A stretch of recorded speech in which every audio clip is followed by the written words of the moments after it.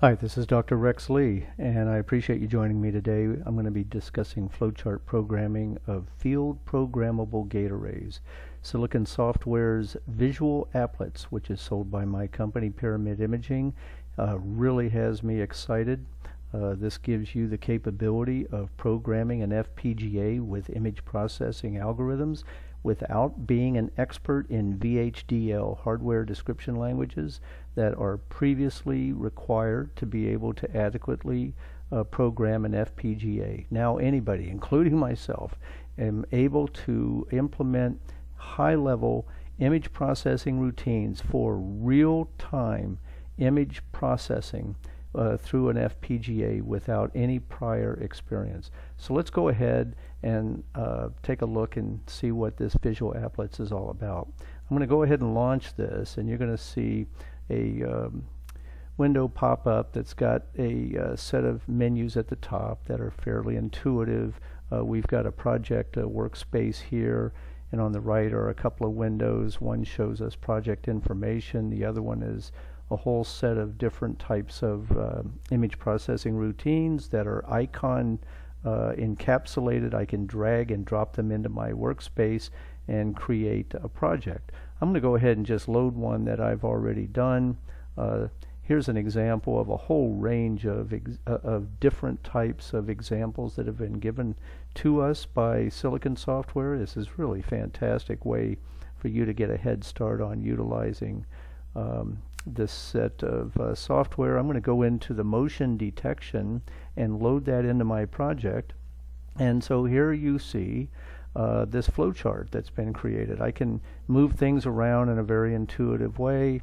Uh, you'll notice that it's already been implement it's been set up to implement a monochrome camera to feed high bandwidth images into a buffer and then all of this manipulation is going to happen and for the purpose here of detecting motion.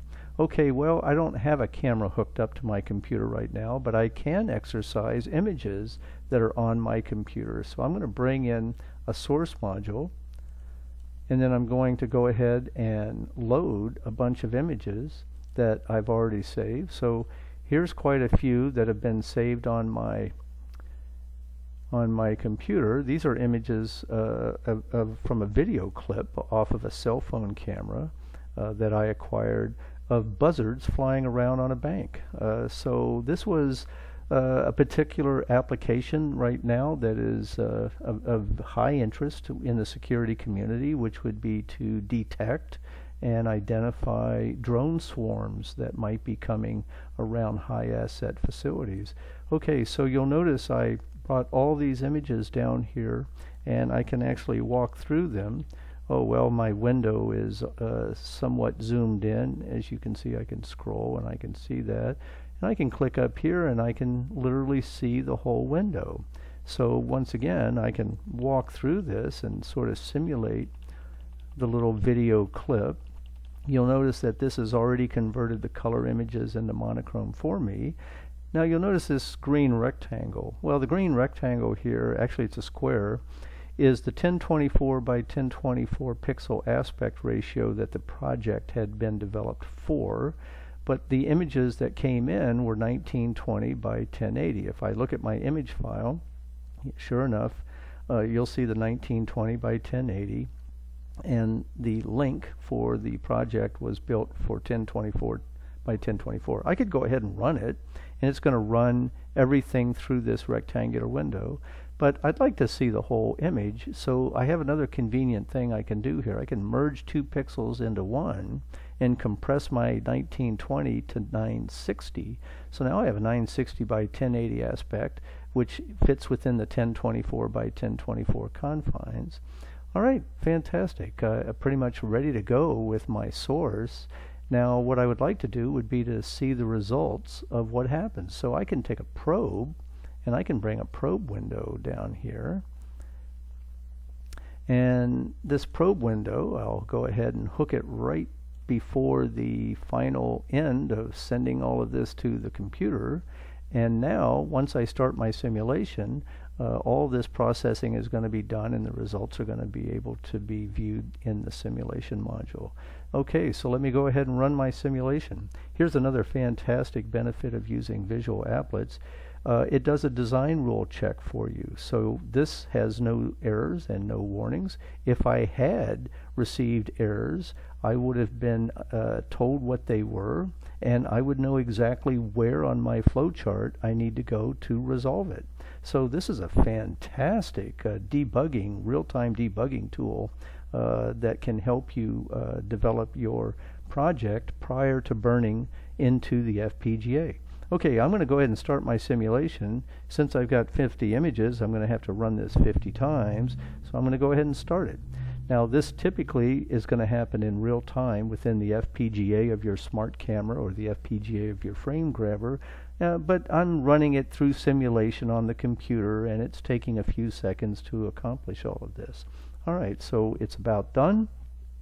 It's finished. It's told me that it was a successful operation and now I can double click on my simulation module. Let's go ahead and look at the whole image once again and look at this. I can see some white objects against a black background. I'll go ahead and walk through my frames and yes, what I'm seeing now is the entire background has been subtracted. The building is gone, the sky is gone, uh, the slow moving clouds have gone. Everything has disappeared and is now black and all that remains are the objects in motion. So this is a tremendous data reduction in those raw images. If I now needed to send this over to another computer or send this to some targeting device, if you will, some countermeasure type of uh, system, well then this is a, a very small amount of data. So this data would be processed in real time through the cameras with the FPGA and this small data set could now be sent to your countermeasure device. I mean this is just a tremendous uh, reduction in data. This is also going to save a lot of cost uh, because if we implemented this in the FPGA of the camera, within the camera, we may not have to have all of that high uh, bandwidth uh, cabling between the camera and the computer. We might be able to just do this with a simple little uh, gigabit Ethernet cable, or maybe it could even be done wirelessly. Okay, so I even had a small uh, video loop uh, basically just showing this. And as you can see, here are the buzzards that are flying around the building. Now, what, what you can take a note of is that it actually is capturing the buzzard and it's putting a highlight around them. Uh, you could possibly imagine that I could do a blob dilation right now and a center of mass calculation and be able to then get that coordinate uh, extracted and then I could have that uh, correlated with real world coordinates and sent over to a countermeasure device. I mean really uh, fantastic. Okay so let's say that really um, was great, but I wanted to get situational awareness. So this might not be the actual design that I needed. Well, I've got other designs available to me. I'm going to come back and I'm going to go to a different one utilizing rolling average. I don't want to save this particular one. I've already uh, done what I needed to with it. And once again, I can take a look at this existing example. I could bring into this simulation source module the same identical images as I had done before and I can probe any part of this to see what the results are of the image processing routines.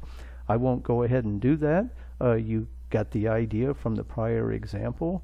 Let me go ahead and show you what this looks like if we were now using the rolling average. So this is utilizing a rolling average. This gives us situational awareness. I still see the BB&T bank building, but now all the objects that are in motion are colorized. So once again, uh, further uh, software algorithms could go ahead and denote those as objects in motion and be able to calculate uh, the specific information that could be uh, then sent to a countermeasuring uh, device. Okay, so uh, this is a very fast example of the power of using visual applets. I'm extremely excited about the capability of doing this. I'd like to encourage uh, everybody uh, to uh, share uh, or to come with us uh, and explore all of the great things that can be done utilizing this, please contact um, us at pyramidimaging.com at any time, and uh, we'll be happy to get that. Um, you know, get that information over to you. So thanks so much, and uh, hope to see you again someday soon.